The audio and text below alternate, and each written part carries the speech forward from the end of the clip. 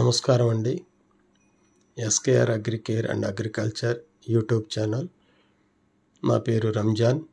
అందరూ రమేష్ అంటారు. రైతు సోదరులందరికీ నమస్కారం అండి.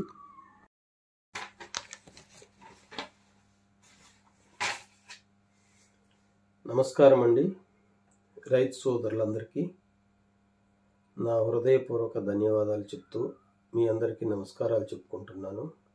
రెండు ఒకసారి ఎందుకు చెప్తున్నానంటే ఆర్థిక మాన్య పరిస్థితుల వల్ల ఈ రోజున మనకు జరుగుతున్న వ్యవసాయం చేస్తున్న తీరి పద్ధతులలో అవకతవకలు ఎక్కువగా జరుగుతున్నాయి.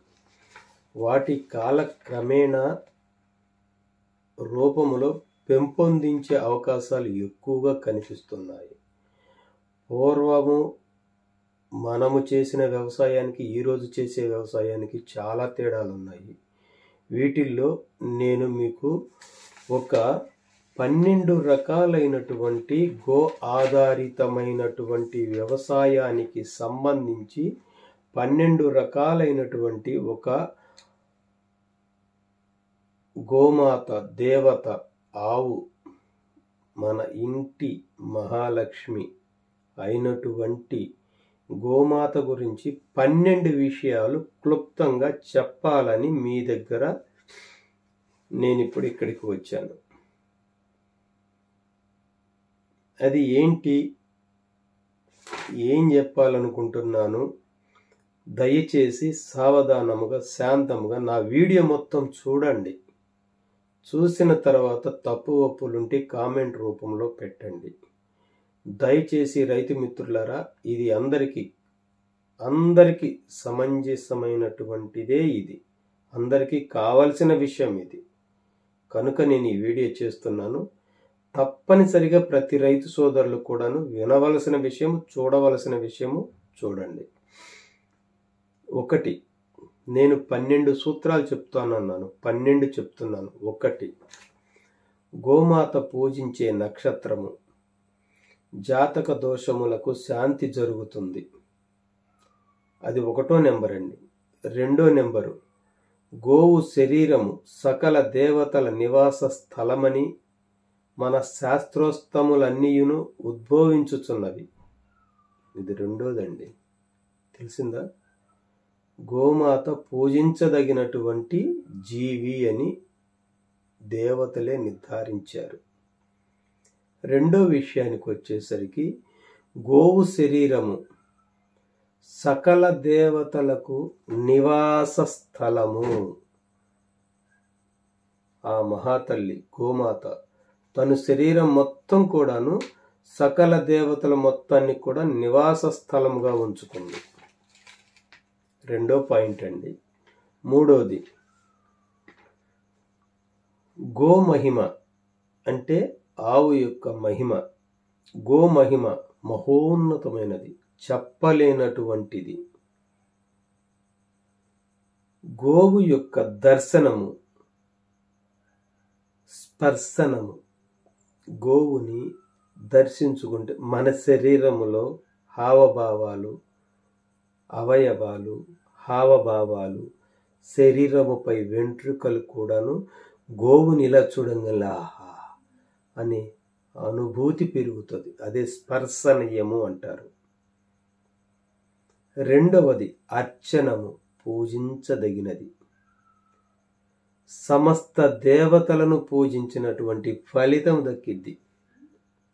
ప్రతి రైతుకు కానీ ప్రతి మానవునికి కానీ ప్రతి మనిషికి కూడాను ఫలితం దక్కిద్ది. ఇక మూడో విషయానికి వస్తే గోవు అంటే మన తల్లి ఆవు గోమాత. తను ఖాళీ డెక్కలలో సమస్త తీర్థములు కూడా ఉన్నాయి. తెలుసా మీకు? ఒక దున్నపోతు గట్టు మీద నడిస్తే గడ్డి కూడా చచ్చిపోద్ది. అదే ఒక గోమాత గట్టు మీద నడిస్తే గడ్డి చిగురు ఇస్తుంది కారణం ఏందో తెలుసుకోండి. అది ప్రతి రైతు సోదరులకు కూడా తెలుసు. ఈ విషయం ప్రతి రైతు సోదరులకు కూడా తెలుసు. అలాగే సమస్త తీర్థములు కూడా ఉంటాయి. ఎందుకంటే అక్కడ పచ్చదనము నీరు గాలి అన్నీ కూడా తీర్థాలతో సమానమే ఉంటాయి. కొమ్ముల నడుమ రెండు కొమ్ములు చూడండి నా వెనకాల ఒక ఆవు మాత ఉంది గోమాత. రెండు కొమ్ముల నడుమ ఓపరం ఉంటుంది శిరము పైన. ఆ ఓపరము కూడాను శివపార్వతులు నివసించేటటువంటి స్థలము అదే. శివపార్వతులు నివసించేటటువంటి స్థలము కూడా అదే. ఆ శివపార్వతులు ఎవరండి? మన తల్లి తండ్రి మన గురువు దైవము అయినటువంటి మహాదేవతలు సృష్టికర్తలు మూలపురుషుడు మహానుభావుడు శివపరమాత్ముడు. ఆయన ఆయన సతీమణి పార్వతీదేవి శివపార్వతులు కలిసినటువంటి స్థలము రెండు ఒక ఆవుకి రెండు కొమ్ముల మధ్యలో ఉన్నటువంటి గోపురము. అది ఆ దేవుని యొక్క నివాస స్థలము. అర్థమైందండి? ఇన్ని రకాలుగా ఉన్నప్పుడు దేవతలందరూ కూడా అక్కడున్నప్పుడు పూజించదలుచుకున్నటువంటి ఆ గోవునే పూజిస్తే మనకి ఎంతో పుణ్యం దక్కిద్ది. అంతేకాదండి సర్వ దేవతలు కూడా సర్వ తీర్థాలు కూడా గోమాత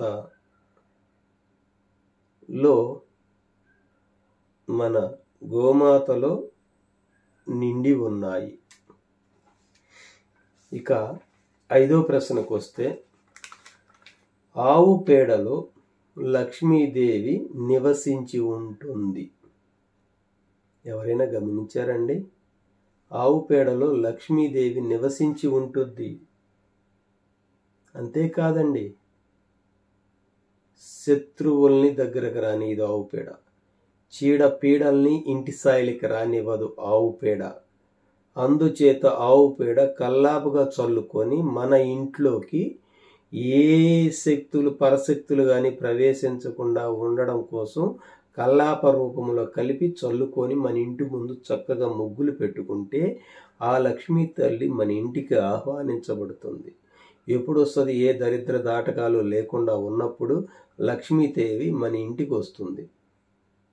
అందుకోసం ఆవు కల్లా ఆవు పేడతో కల్లాప చల్లుకోవాలి ప్రతి ఇంటి గుమ్మం ముందు అని చెప్పి పెద్దలు పూర్వంలో చెప్పేవారండి. ఏం చేస్తాం? ఇప్పుడు ఎవరు లేరండి. చెప్పినా చేసేవాళ్ళు లేరు ఏమీ లేదండి.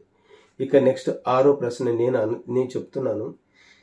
గోవుకు చేసే ప్రణమామములో అంటే గోవుకి దండం పెడుతున్నాం చూసావా? వాటిల్లో ధర్మం ఉంది. ధర్మము కూడాను వృద్ధి చెందిద్దండి. నువ్వు చేసే ప్రతి విషయంలో నీ ధర్మం వృద్ధి చెందిద్ది. పరాశక్తి మహాతల్లి కాళికాదేవి ఏ దేవతైనా కానీ పరాశక్తి. ఆ పరాశక్తి కాళికాదేవి. ఆ కాళికాదేవి అంశలో నుంచి నువ్వు వచ్చినటువంటి సురభీదేవిగా పరాశక్తి అంటే సురభీదేవి అండి మహాతల్లి. ఆ మహాతల్లి గోమాతగా స్వరూపాన్ని మనకు అందించింది. అన్నం తినగా అన్నం. పరాశక్తి సురభీదేవిగా గోవు స్వరూపములో ఆవిర్భవించి ఉంటుంది. ఇదండి దీని సిస్టమ్. ఇక తర్వాత ఏడో ప్రశ్న. ఇవి ప్రశ్నలు కాదండి సూక్తులు అంటారండి. గోమాత ఎన్ని అవతారాలలో ఎన్ని లక్షణాలతో ఉన్నది అనేది ఇక్కడ చెప్పబడుతున్నది. నేను చెప్తున్నా మీకు సమాధానంగా. గోవు సమీపములో ఉండి మన ఇంటి పక్కల్లో కానీ మన దొడ్లో కానీ మన పెరట్లో కానీ గోవు ఉన్నప్పుడు ఆ గోవు నివసించే స్థలంలో ఉండి దేవతా స్తోత్రములు ఏ దేవుణ్ణైనా స్మరించి స్తోత్రాలు పఠిస్తే పారాయణము చేసిన జపాలు చేసిన అత్యధిక ఫలితం లభిస్తుందండి. మీరు ఏదన్నా చేయండి మీ పెరట్లో ఒక ఆవు ఉంది. ఆ తల్లి దగ్గర నిలబడో లేకపోతే ఆ తల్లి పక్కన కూర్చోనో ఒక్క పారాయణం చేయండి ఒక్క స్తోత్రము పఠించండి. ప్రతి రైతు సోదరుడు కూడా మీకున్న సకల దోషాలు కూడా హరిస్తాయండి. ఎందుకంటే ఆ గో శరీరం మొత్తం కూడాను ఆ గోమాత మొత్తం కూడాను సర్వదేవతలు అక్కడే ఉన్నారండి. ఇక తర్వాత ఎనిమిదో ప్రశ్న అండి. గోశాలను శుభ్రపరిచి అంటే మనం కట్టి మనం పశువుల్ని మేపుకుంటున్నాము కట్టుకుంటున్నాము దానిని శుభ్రంగా బాగు చేసుకొని నీట్గా తయారు చేసుకొని అందులో గో మనం ఇంట్లో ఎట్లా ఉంటున్నామో మనం పెంచుకునే గోమాతను కూడా అట్లా శుభ్రంగా చూసుకుంటూ ఆ గోమాతను పూజించే శాలలోనే గోమాతని మనం పెంచుకునే శాలలోనే ఒక మూలన ఒకవైపు చిన్న దీపారాధన చేయండి. చిన్న దీపారాధన. చిన్న దీపారాధన చేస్తే ఆ దీపారాధన వెలిగించిన అన్ని దుష్ట ఆ దీపారాధనతోటి ఆ దీపారాధనలో వచ్చే వెలుగుతోటి అన్ని దుష్ట శక్తులు కూడా పోతాయండి. అంతరిస్తాయి. సమస్తం అంతరిస్తాయి. ఇది ఒక మహానుభావులు రాశారండి ఈ కవిత్వాన్ని. ఇది కవిత్వం కాదండి. మానవ వాళ్ళకి జ్ఞానోదయం కోసం ఒక మహానుభావుడు రచించారు. ఇది నాకు ఈ పేపర్ ఇవాళ దొరికింది. దాన్ని నేను వీడియో రూపంలో మీ అందరికీ మీ ముందుకు తీసుకొస్తున్నాను. ఒక ఆవు గురించి ఇన్ని ప్రత్యేకతలు ఒక మహానుభావుడు రాశాడు అనంటే ఆయన ఎవరో నాకు తెలియదు ఇది రాయడం వల్ల నేను దాన్ని బాగా చదివి అధ్యయనం చేసుకొని మీకు చెప్తున్నాను. ఒక గోవు గోవులో ఒక ఆవులో ఇన్ని లక్షణాలు ఉన్నాయి అని నేను మీకు చెప్పగలుగుతున్నాను. ఇదండి. తర్వాత తొమ్మిదో ప్రశ్న. మనము సర్వ పాపాలు చేస్తున్నాము సకల దోషాలు చేస్తున్నాము. నిద్ర లెగిసిన నుంచి నిద్రపోయే వరకు చేయలేని తప్పులు లేవు చేయలేని అబద్ధ పనులు లేవు మాటలాడని అబద్ధాలు లేవు. నిజం మాట్లాడే మానవులే కరువైపోతున్నారు ఈ ప్రపంచ చరిత్ర పుటములో. ఈ రోజున ఒక్క విషయం చెప్తున్నాను. ఎన్ని పాపాలైనా చేయండి. ఎన్ని గోశాలలు తిరగ ఎన్ని క్షేత్రాలు తిరగండి. ఎన్ని దేశాలు తిరగండి. ఎంత డబ్బు వృధాగా తగలేయండి. అవన్నీ ఇంపార్టెంట్ కాదండి. ముఖ్యంగా మనం చేయాల్సింది ఒకటండి. మన సమీపంలో ఏ గోశాలలోనైనా ఒక్క ఆవు కనిపిస్తే మీకు చేతైనంత కూరగాయలు ఆకుకూరలు పళ్ళు పలహారాలు తీసుకెళ్ళి ఆ తల్లి మహాలక్ష్మి గోమాతకు తినిపించండి. సకల పోపాలు పోతాయండి.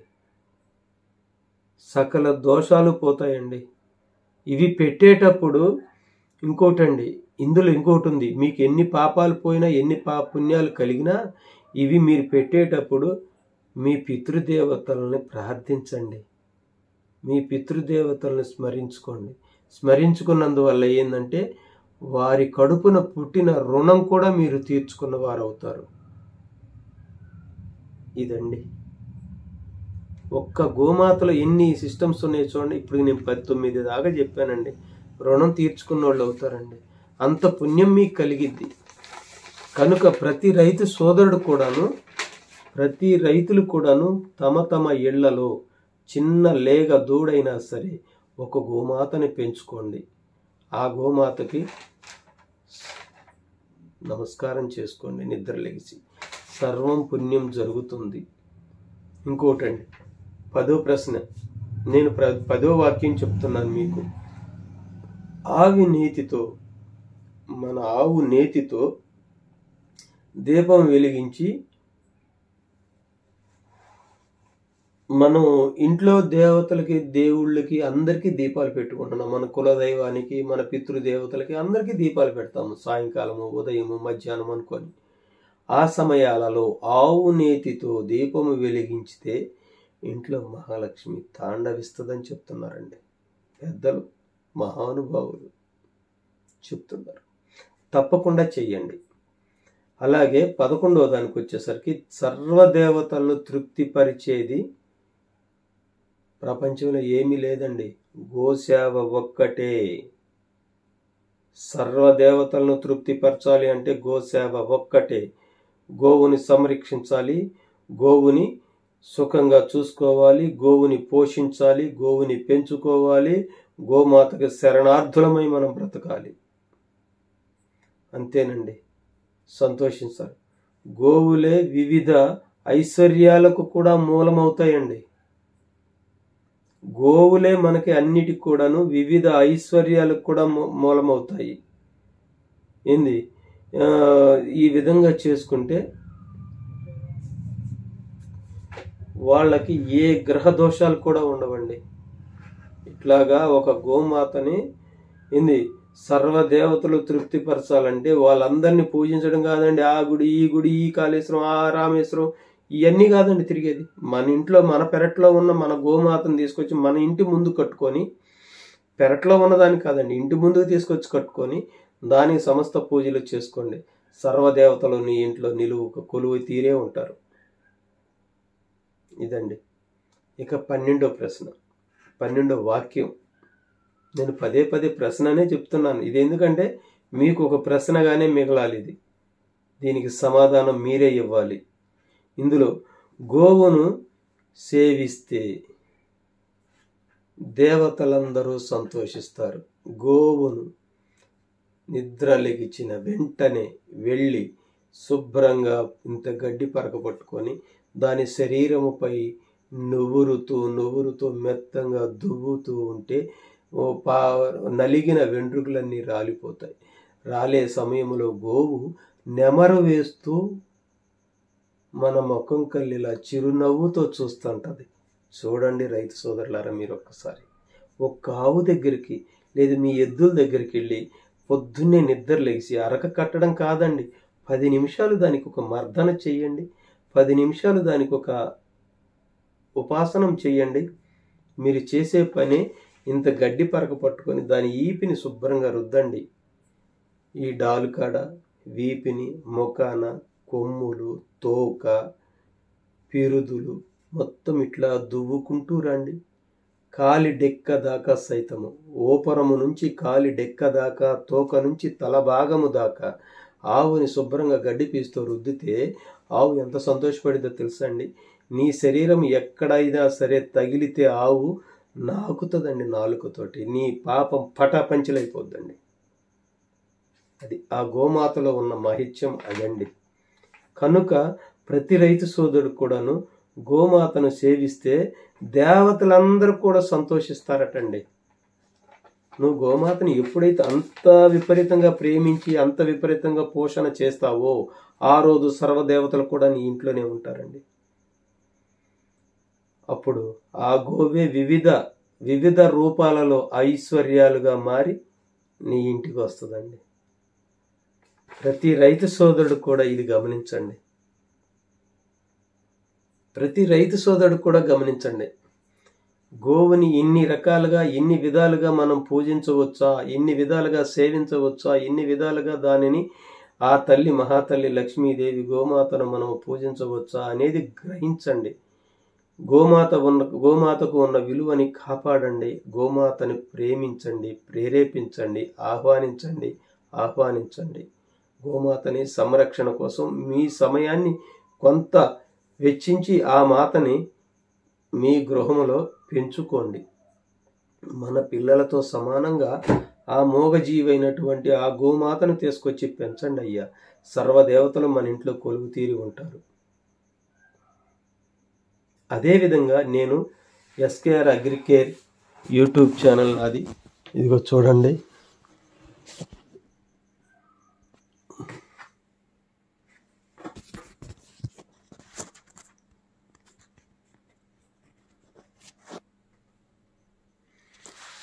ఇదండి నా channel. SKR Agricare agriculture YouTube channel అండి.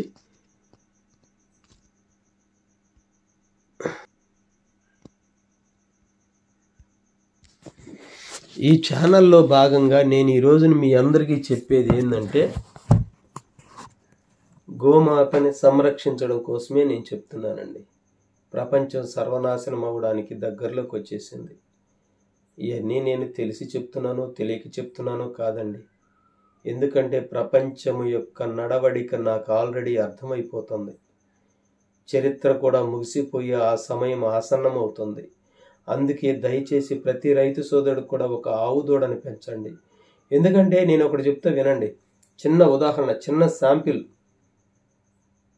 నా- నా- నా వయసు ఇప్పటికి యాభై సంవత్సరాలు.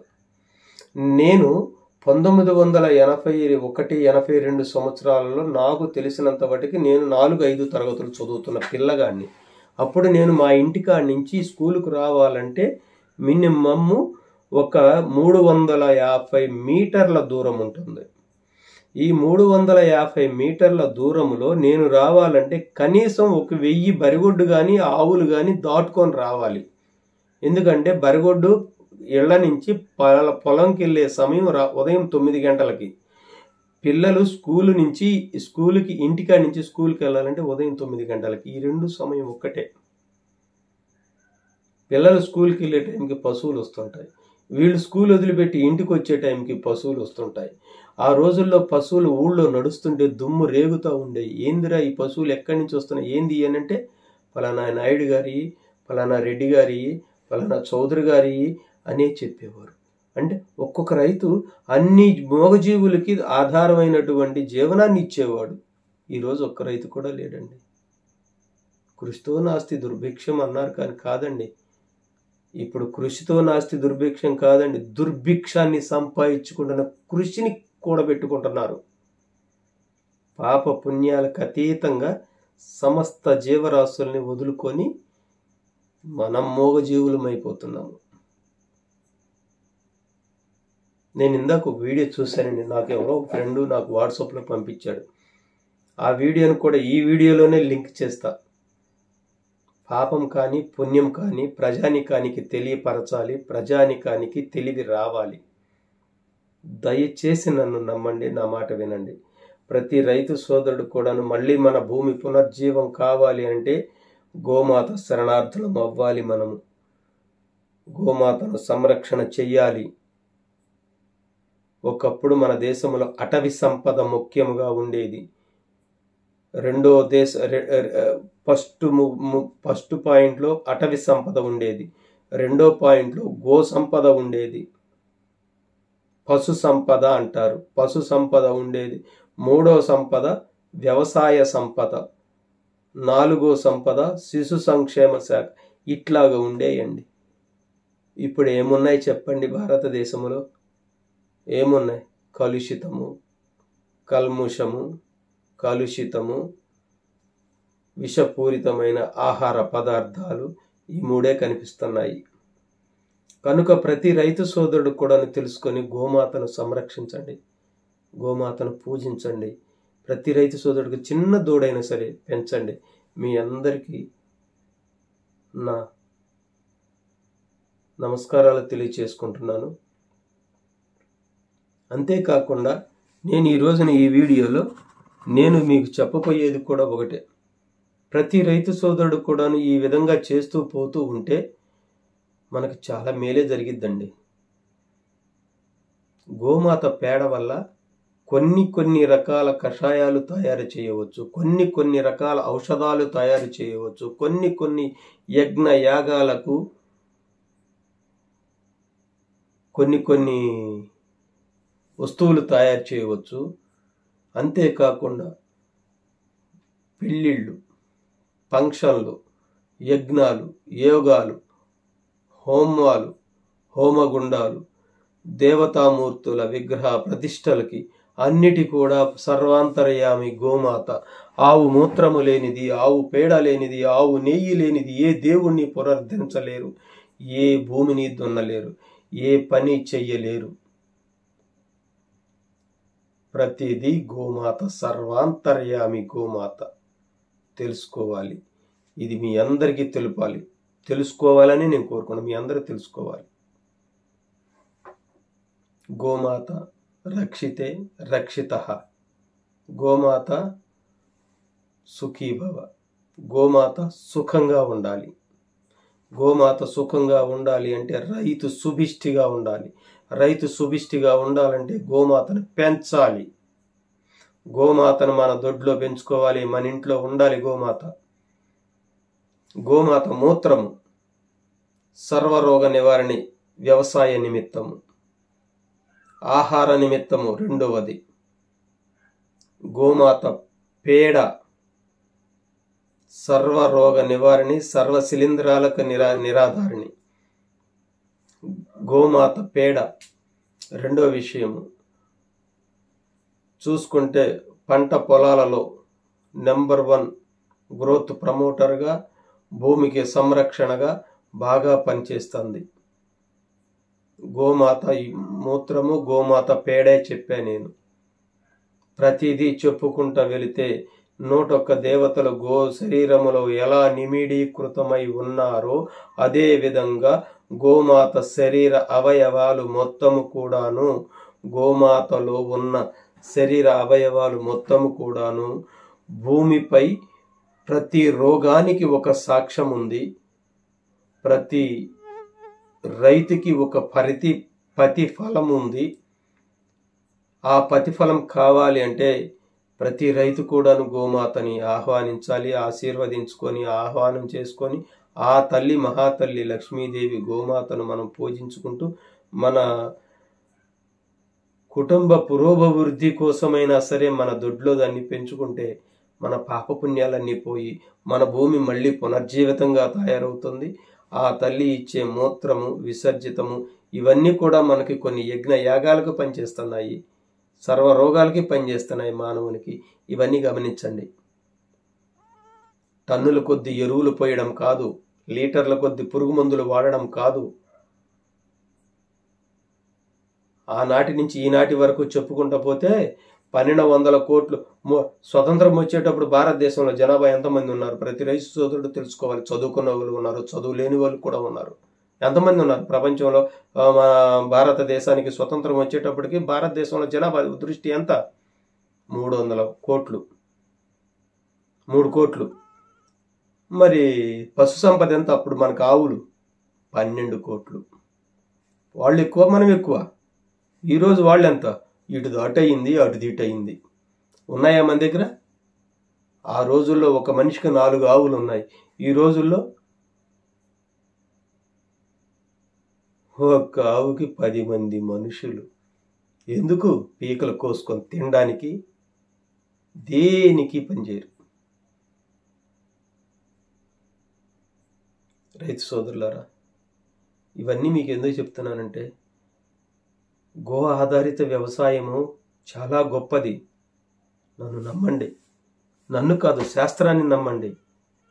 ఈ గో ఆధారిత వ్యవసాయం గురించి పాలేకర్ గారు కానీ పడాల్ గౌతమ్ గారు కానీ కుక్ అశోక్ కుమార్ గారు కానీ అలాగే శివకృష్ణారెడ్డి గారు కానీ ఇంకా చాలామంది సివిఆర్ మెథడ్ అని వాళ్ళు కానీ సింతా వెంకటరెడ్డి గారు కానీ గో ఆధారిత వ్యవసాయము గో ఆధారిత వ్యవసాయం అని ఎంతో ఘోషించి చెప్తున్నారు మహానుభావులు.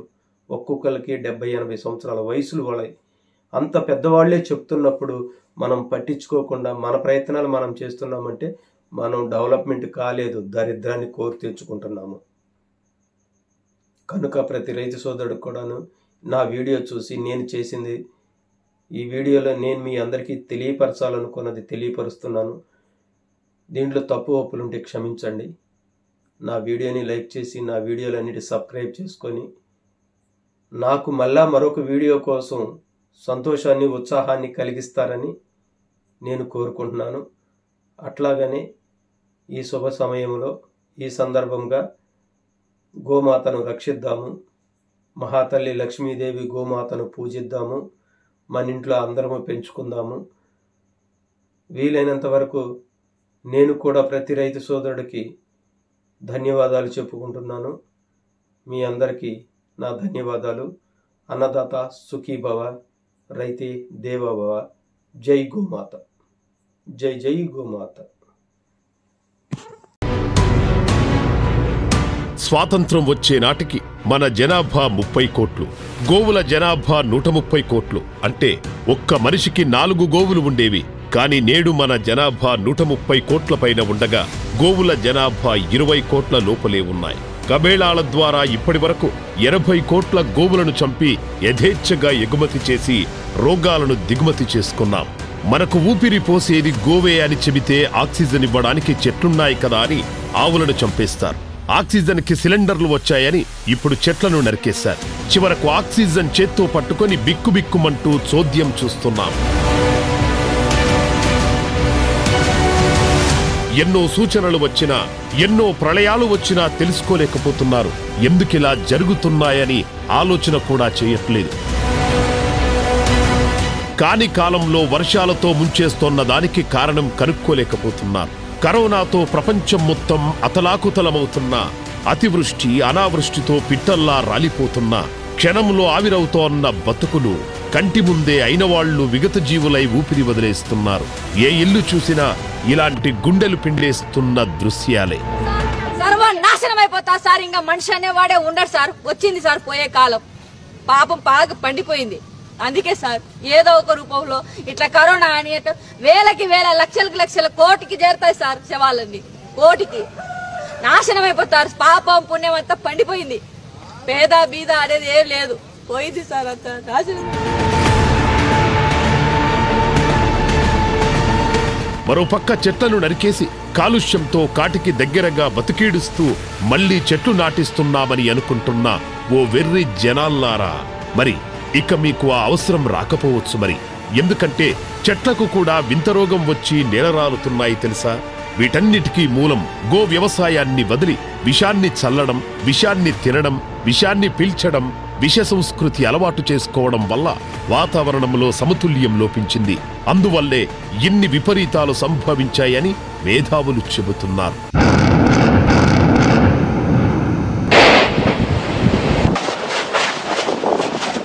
వాతావరణాన్ని సమతుల్యంగా నడిపించాలంటే గోవు వల్లనే సాధ్యమని తెలుసుకోండి. గోపంచ ద్రవ్యాలతో మన ఆరోగ్యాన్ని మన చుట్టూ ఉన్న పరిసరాలను ప్రకృతిని కాపాడుకోవచ్చు. గోవే మన రక్షణ వలయమని ఇప్పటికైనా తెలుసుకోండి. చెట్లు బతకాలన్నా అంతరిస్తున్న అడవులు పునరంకితమవ్వాలన్నా ప్రకృతి శాంతించాలన్నా గోవు బతకాలి.